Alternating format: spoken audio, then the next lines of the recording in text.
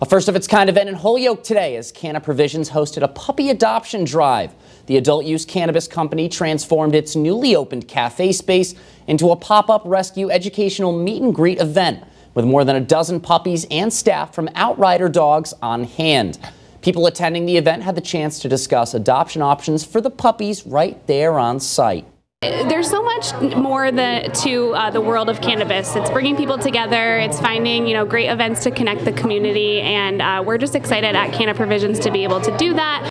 How would you not want to see one of those adorable dogs? The event was for people 21 and older, along with its location in Holyoke on Dwight Street.